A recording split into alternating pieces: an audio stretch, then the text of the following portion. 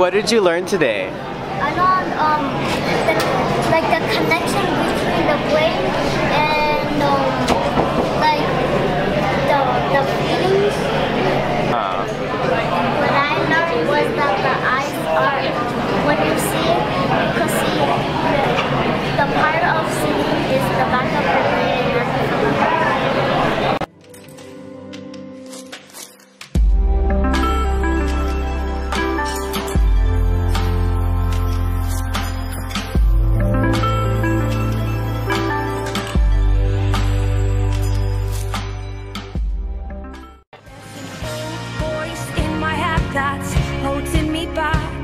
Well, tell her that I miss our little talks.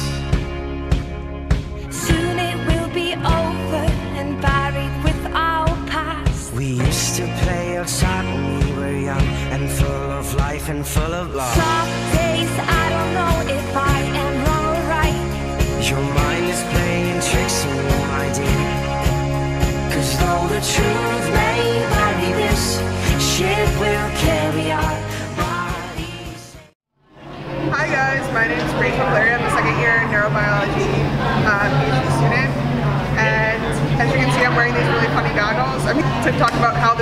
adapt to changes in your sensory information and adapt to them so that I can still function normally.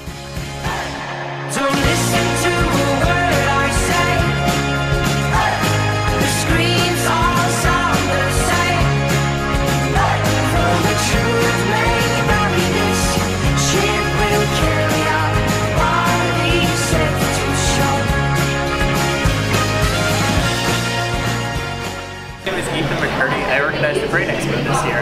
What this event does is to engage the community as part of Brain Awareness Fair. Uh, volunteers help activities make neurons out of pipe cleaners. And what this activity is supposed to do is to slow you down for a moment to think about how a neuron and how a cell works.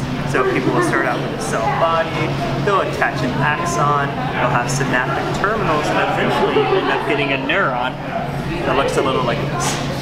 And so this is a way for us to explain what's happening in a cell and this creative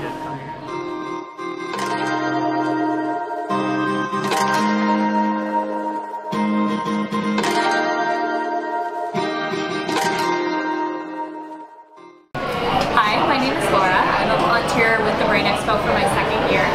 And this year I get to work with the Brain Bank, which is really exciting. We basically have a whole bunch of different types of brains from different animals. We have a real human brain that's been preserved and plasticized so we can have it out in the open air.